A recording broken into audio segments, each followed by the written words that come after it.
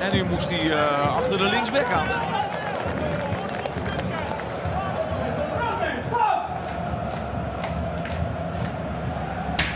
Oh!